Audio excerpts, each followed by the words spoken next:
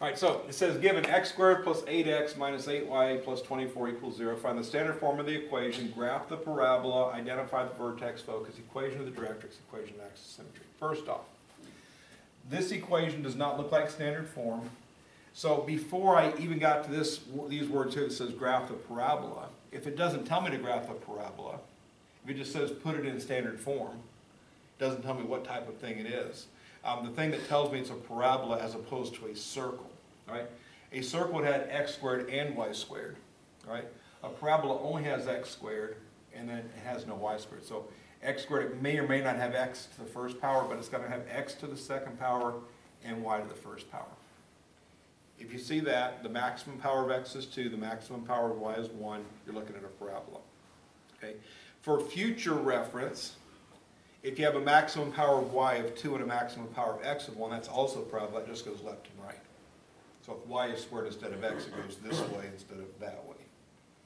So just keep that in mind, but again, for the sake of this book alone, everything's up and down, so x should be squared, if y isn't, you're looking at a parabola.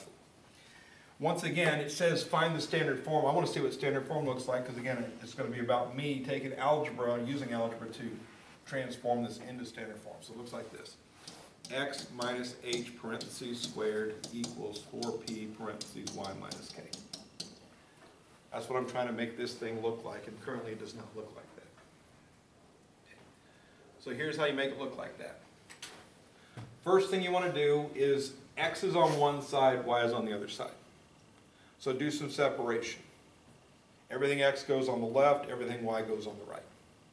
And if it's a number, it goes on the right as well. So, I'm just, a little separation here, I'm gonna move these two guys to the right because they don't have x's. I'm gonna keep these two guys on the left because they do have x's. So, I've got x squared plus eight x, I'm gonna leave a little bit of space, equals. I'm moving eight y to the right, so negative eight y becomes positive because it moves across the equal sign. Positive twenty-four becomes negative because it moves across the equal sign. Priority one is to do that. X is on the left, everything not X on the right. Priority two, complete the square, the same way we did it in circle problems. We only have one perfect square trinomial to make this time because we only have one parentheses squared.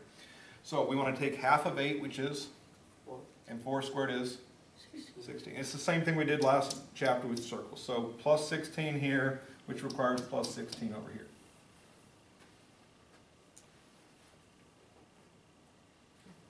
Now I want to factor this side, so I want to get my parentheses squared. And again, remember there's three pieces here. We have a letter and a sign and a number. The letter comes from the letter, the first term. The sign comes from the second term.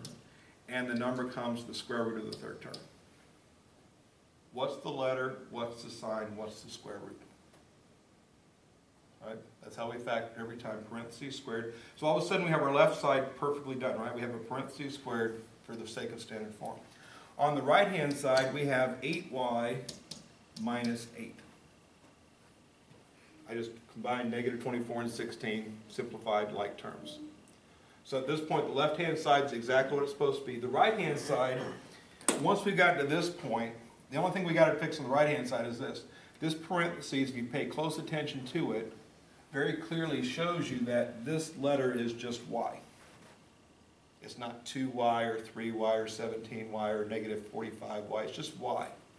So, that means that this needs to be just y, which means anything attached to the y needs to be pulled out as a common factor, even if it makes ugly things happen. So, I don't care what this number is, I care what that number is. Whatever that number is, I put a parenthesis in front of it, eight parentheses, and then I divide each term by it. 8y divided by 8 is 1y, which is what we wanted. 8 divided by 8 minus 8 divided by 8 is minus 1. If this said minus 9, now it's minus 9 eighths, which is 1.125. Again, we're graphing some decimals. If this said 17, now it's 17 eighths, 1.875. All right, I don't care what this number is, I just need this to be y. So whatever that number is, pull it out, divide this and this by it. Hopefully, most of your problems are going to be friendly like this. 8 divided by 8 is 1. Maybe 16 divided by 8 is 2, right? That'll be something friendly, but it doesn't have to be. Right? So that's how we make this side the right, look, again, I don't care what this number is. This number is whatever it is. You pull it out, it is what it is. This has to be y, that's your key. All right? So this side is now correct, this side is still x plus four squared, and now we have our standard form. And our standard form tells us everything we need to know to find the vertex information, right? We're gonna identify, graph the parabola, identify all the stuff. So, the vertex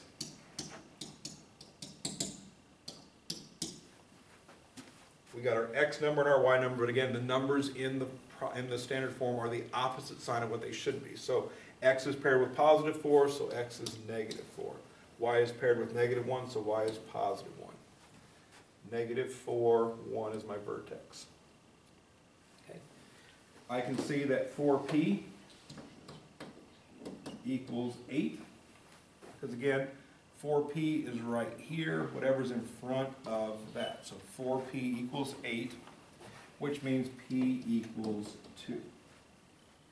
In addition, four P is a positive eight, so P is positive two, which tells me this is an up parabola. I'm gonna go up to get the focus, I'm gonna have to go down to get the directrix. So, I'm gonna go up two for my focus, I'm gonna go down two for my directrix. And I can see very clearly, this is positive one, if I go down two, I get to negative one, so this is my directrix right here. Finally, I need those two extra points, and the two extra points are gonna be eight spaces across at the focus. So my focus is the black dot, I need to go eight spaces across, that means four spaces to the right, and four spaces to the left. So from here to here is one, two, three, four, five, six, seven, eight. So again, you need a focus, a vertex, and those two points on either side of the focus. And once you get those three dots drawn, you create your nice looking parabola here. And just extend the line a little bit with the arrows, and there's your parabola. And finally, we throw an axis of symmetry in just right through the focus and vertex, just put a dashed vertical line. And then we have to identify all this stuff. So vertex is four, negative four, one. The focus is two up from there, so it's negative four, three. The directrix equation is y equals a number. The axis of symmetry equation is x equals a number. The y equals is where the height of this is. So this is the x-axis, we go down one, that's y equals negative one. The axis of symmetry goes through the focus and the vertex, x equals the number they have in their coordinates, so x equals negative four. There's my vertex, there's my focus directrix axis symmetry, my graph, my standard form, I also said find the standard form. There you go. I'm gonna take that circle out of there. So, find the standard form done. Graph the parabola done, identify vertex, focus, directrix, axis, symmetry done.